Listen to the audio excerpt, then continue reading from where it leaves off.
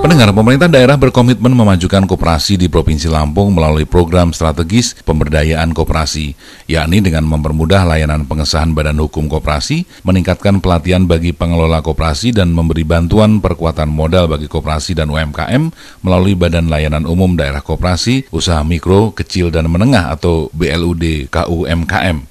Dijelaskan Karumas dan Protokol Bayana, hal tersebut disampaikan Gubernur Lampung M. Rito Fikardo Selasa 5 April 2016 pada rapat anggota tahunan atau RAT Inkopsyah di Hotel Novotel Bandar Lampung.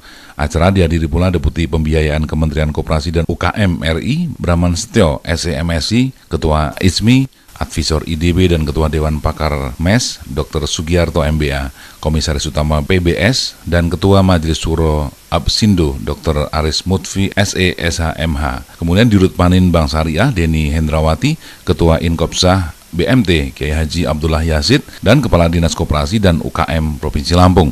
Gubernur Lampung dalam sambutannya menyampaikan, Indo Koperasi Syariah BMT atau Inkopsah BMT merupakan gerakan koperasi sekunder yang didirikan oleh primer koperasi yang kegiatan usahanya berdasarkan pola syariah.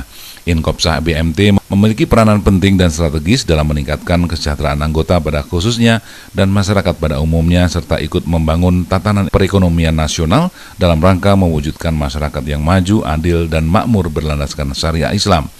Saat ini jumlah koperasi syariah di Provinsi Lampung sebanyak 193 unit, dengan jumlah koperasi aktif sebanyak 157 unit dan tidak aktif sebanyak 36 unit. Untuk itu, koperasi harus memperkuat konsolidasi internal organisasi dengan meningkatkan partisipasi seluruh anggota, serta membangun jejaring antar koperasi dengan badan usaha lainnya, terutama yang berkaitan dengan promosi produk unggulan daerah dan peningkatan akses pasar baik lokal, nasional, dan global, kata Gubernur. Dalam kesempatan tersebut, Gubernur Lampung juga meminta kepada pengurus untuk terus-menerus mengoptimalkan kinerja organisasi, manajemen, dan mengoptimalkan kemampuan mengakses permodalan, serta mengolah potensi-potensi lain di bidang usaha yang dapat dikembangkan. Keberhasilan kooperasi yang telah dicapai selama ini harus tetap dipertahankan dan ditingkatkan di waktu yang akan datang. Hal ini hanya bisa diwujudkan melalui kerja keras pengurus dan adanya dukungan serta partisipasi aktif para anggotanya, ujar Gubernur. Pendengar, sementara itu, Direktur Utama Panin Bank Syariah atau PBS Denny Hendrawati menyampaikan PBS telah terus-menerus bermitra selama enam tahun. BMT adalah mitra strategis Bank Panin Syariah atau BPS.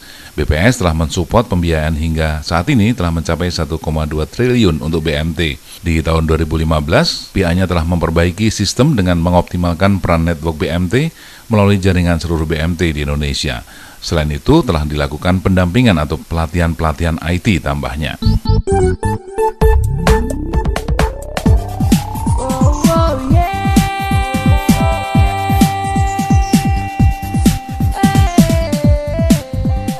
GPFM Tribawon